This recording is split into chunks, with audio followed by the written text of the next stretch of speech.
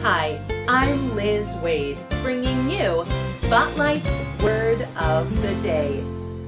Today's word is tourist. This word comes from today's program, Anousheh Ansari Explores Space. The word tourist is a noun. It means a person who travels to a place for pleasure. Here's tourist in a sentence from today's program.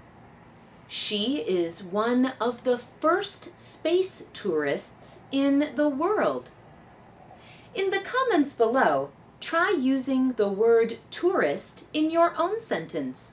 And join us next time for another Spotlight Word of the Day.